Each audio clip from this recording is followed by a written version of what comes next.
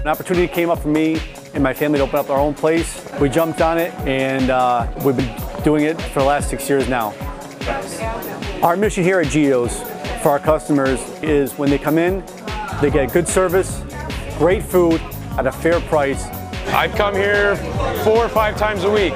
I mean, it's great food, great environment, great staff. You can't beat it.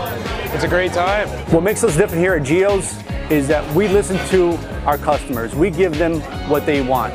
You can go anywhere, get a cheese, pepperoni, or combination pizza, but to, to have customers create their own dishes and then be put on the menu is totally different from what you're used to.